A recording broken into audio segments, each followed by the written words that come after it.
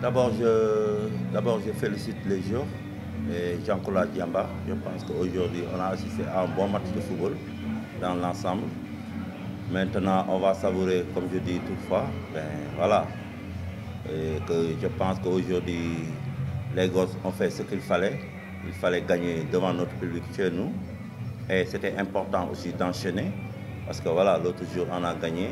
Maintenant, il fallait enchaîner, surtout gagner devant nous. Mais, mais voilà, c'est comme ça. Moi, je pense que euh, on a fait ce qu'il fallait. Maintenant, euh, maintenant, je pense que les garçons, ils peuvent maintenant dérouler et puis essayer d'enchaîner une autre victoire et puis voir qu'est-ce que ça va donner. Le système de jeu, ça change. Et puis, un, un système de jeu, il faut avoir les hommes qu'il faut aussi pour euh, travailler le système. Maintenant, c'est à nous de s'adapter.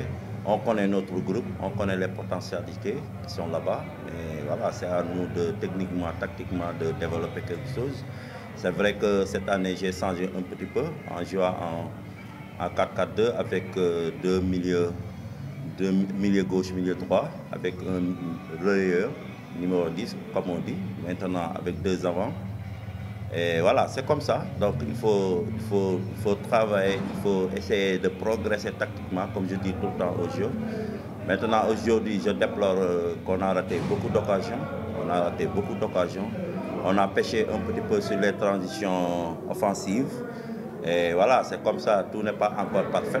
Il faut continuer à travailler, mais surtout à travailler devant le but. Je pense qu'aujourd'hui, on est lancé et puis il faut se donner à fond essayer d'enchaîner les victoires, essayer de, voilà, euh, essayer de, de, huiler les choses. Et c'est comme ça. Moi, je pense que si on gagne encore un autre match, mais c'est comme ça. Il faut, il faut prendre match par match et puis essayer d'enchaîner deux ou trois victoires, quatre victoires si possible. Et là, on pourra se situer.